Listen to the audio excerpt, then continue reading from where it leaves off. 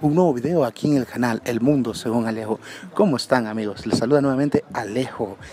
Solo para darles un mensaje breve, ya que este es un video de despedida de este juego que nos ha llevado grandes momentos. Bueno, a mí me ha llevado unos grandes momentos y la verdad solo toca esperar a ver qué depara en el nuevo PES 2017. Pero sobre todo, espero que disfruten este video que la verdad tiene un poco de valor sentimental porque fueron golazos que fueron potras épicas, partidos épicos que nunca voy a olvidar. Así que eh, les dedico este top los 10 mejores goles que he echado o que he visto en este PES 2016.